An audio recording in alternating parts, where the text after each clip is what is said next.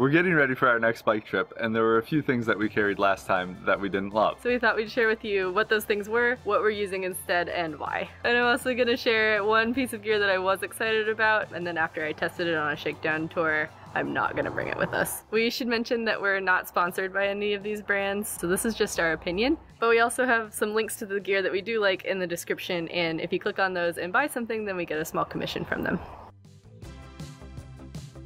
We've made a couple changes to our cockpit. One that we're excited about is moving away from the quad lock mounting system to a Peak Designs mounting system and case for our phones. The main reason that we're making this switch is that the Peak Designs mount is just so much easier to use. With the quad lock, you have to find the right angle to get it to attach, and that gets easier with time, but it's always just a little bit clumsy. I will be the first to admit that I'm not a very good cyclist, and there are so many times when I took my phone off the quad lock mount to take a photo, and then I just could not get it back onto the mount. And a lot of times I would just throw it into my handlebar bag, which meant that I couldn't navigate until I stopped and reattached it to the bike. Comparing this with the Peak Designs mount, you basically just throw the phone at the mount and magnets pull it into place, wiggle it a bit, and a couple other clips grab it, and you're good to go. With the Peak Designs case, I just feel so much more confident taking my phone off of the mount, taking a picture, and then putting it right back on. The Peak Designs mount is also more customizable. You can turn it in a couple different orientations and then also attach it to the handlebars in a couple different ways, whereas the quad lock mount, there's a tab that you push to take the phone off of the mount, and you can't change the orientation of that tab. And so it just limits the, the number of ways that you can set it up on your handlebars. I don't have a whole lot of space on my handlebars, and so I had to get a handlebar accessory mount to be able to mount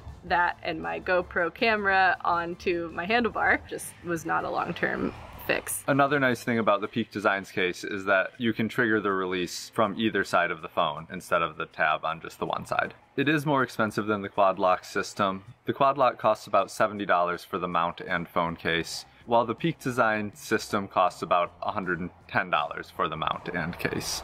We also like the styling of the case a little bit better and it comes in two colors so our phones don't look exactly the same. Quad lock case that we had also didn't come with a MagSafe system which they now do, but Peak Designs comes standard with the MagSafe, which has been really nice and allows for more accessory use, like a cool little tripod. The Peak Designs mount is also a little bit heavier, but for me it comes out to lighter because I don't have to use that accessory bar.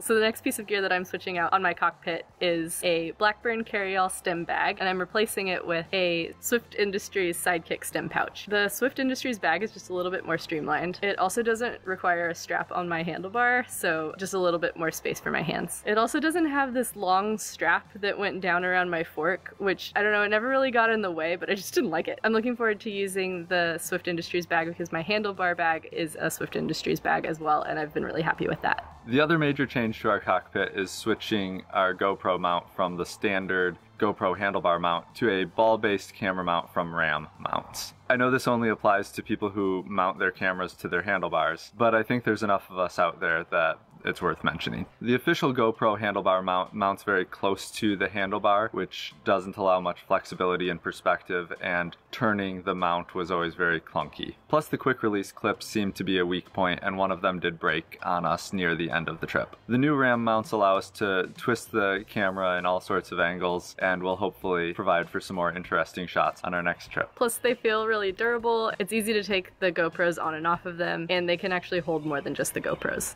Basically, we're just really excited about this new streamlined cockpit setup. In Turkey, we had used a Katadyn BeFree water filter with a Sawyer squeeze as a backup, and for the next trip, we'll be bringing two BeFrees. They work faster, they're easier to fill, and they're much easier to clean the filter in the field as well. The next big change for me is that I got a new sleeping bag. I brought my old 20 degree Enlightened Equipment quilt to our local consignment store and replaced it with a 30 degree Katabatic quilt. When I bought my old bag, I read that side sleepers would appreciate a wide bag, so I, I bought the wide size, and it turned out to just be a little bit too much space for me, plus it was a little bit long. I also learned that I really hate 10D fabric. It's the fabric that a lot of the lightest quilts are made out of. Even though I wear my sleeping clothes at night, it still just feels really clammy, and I just feel like I'm sleeping in a trash bag. The, the new bag is made out of Pertex, and we just took it on our shakedown trip, and it was so comfortable, and I'm really excited to use it. So this is going to be my bag for the warmer seasons, and then I'm gonna pick up a colder bag for the shoulder seasons. We also switched out our outdated GoPro 5 for a new GoPro 11. In Turkey, we had used a GoPro 5 and a GoPro 10, and the GoPro 5 really had terrible image stabilization, and the color profile was hard to match with the other GoPro and our phones. Plus, for some reason, the videos always seem to come out a little bit blurry, and hopefully our future videos will look much better because of this change.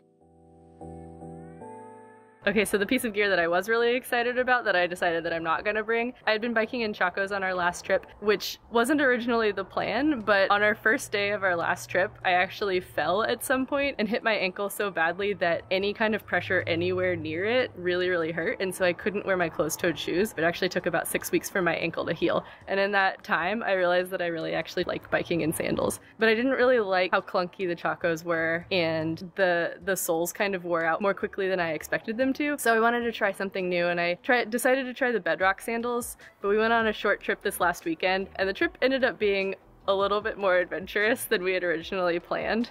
Um, but it was pretty clear to me that the Bedrock sandals couldn't handle the kinds of things that the Chacos could. I had been wearing them for weeks. I had already gotten a little bit used to the between the toe style, but they just really hurt my feet. So I decided to bring Chacos again on this next trip. So if anybody wants to make a pair of adventure sandals that have a thinner but still durable sole and don't rely on a between the toe system, I'm all ears. And I've already tried the Xero shoes. Those are a little bit too thin. What about you? What kind of gear changes are you making this year? Let us know in the comments. Thanks and see you next time.